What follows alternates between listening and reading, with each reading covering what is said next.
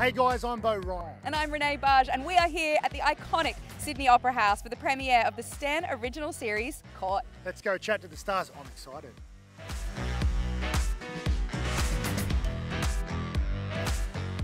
Welcome, Alex, Ben, Link, and Kick. This is actually happening. It's happening. It's so wild. We can't believe it. We're so excited. Did you help him write it? Because No. there's a rumor that you all really Oh, workshop this when you live together.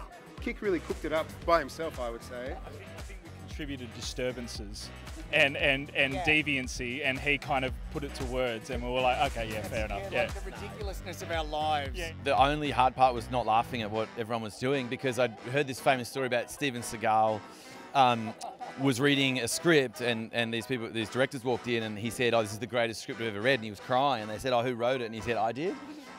And every time I laughed on set, I thought, oh, am I being like Steven Seagal? am, I, am I just, am I laughing at my own jokes?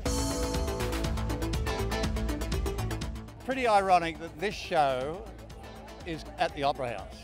It's not exactly the material that you know they're used to at the Opera House. It's, it's things have been a bit thin on the ground for a couple of years in terms of home, homegrown stuff. And as long as Australians know that the show is on, um, they, they watch it because they want to see it. You know, whereas a lot, a lot of stuff goes under the radar. You know. How much fun was it coming to set? Like, this is like such a ridiculous show.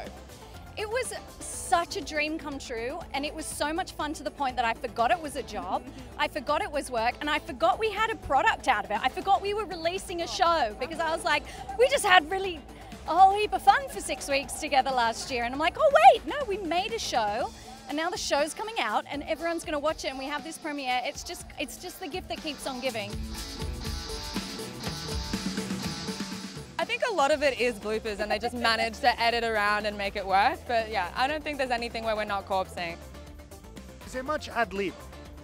There's much ad lib. Yes, yes, but not to the point of where it can derail the whole story. More, more. Uh, if it's funnier, Kick was always willing to take the funnier joke. How good. What was it like? Well, I mean, you're playing yourself, right? But what was it like to be around it? But it's not easy to play yourself when there's a lot of you. That's right. I feel you. I There's feel a lot you, of personalities. I feel you. I'm do- going to my thing, and I did my line, and then literally right next to the camera is Sean Penn when I'm delivering my lines. In in the flesh. In the flesh. Oh, and shit. I've gone, holy shit. Yeah. It's, I stopped Sean Penn. Yeah, yeah. Like, and I've completely shit myself. This was just floating on another level of of fun and almost objectivity. There was a certain I don't know, it was just different. I don't know how to explain it, but yeah, it does. It feels like it's uh, perfectly timed. Feels like people are hungry for this kind of thing right now. What a sensational night. So good. Well, the brand new Stan original series, Caught, is now streaming only on Stan.